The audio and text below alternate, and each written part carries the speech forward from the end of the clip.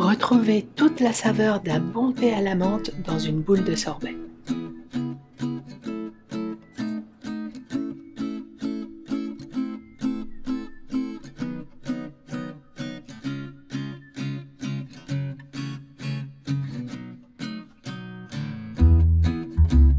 Je commence par préparer un thé marocain à la menthe. Toutes les instructions pour le faire dans les règles de l'art se trouvent dans ma vidéo sur le thé marocain. J'utilise du thé vert, de la menthe fraîche, de la verveine ainsi que de l'eau de fleur d'oranger.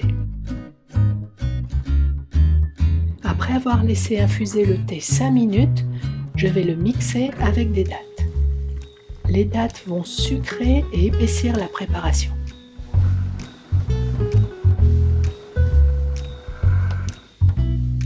Lorsque j'ai obtenu un mélange bien homogène et velouté, je le filtre à travers une passoire.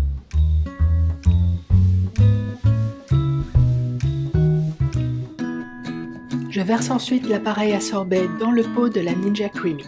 Notez que la texture est beaucoup plus épaisse maintenant.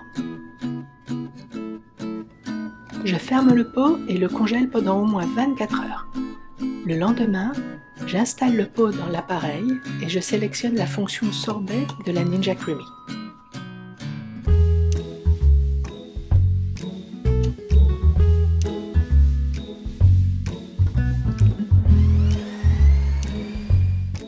J'obtiens la première fois un sorbet avec une texture encore un peu dure à mon goût, je l'aimerais un peu souple.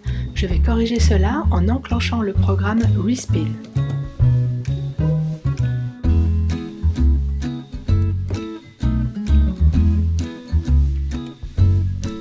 Cette fois-ci, j'obtiens une texture onctueuse et je peux facilement former des boules de sorbet.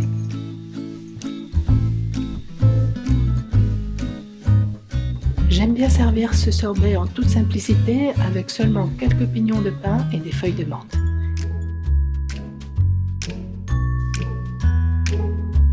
J'espère que cette recette vous aura plu et je vous dis à bientôt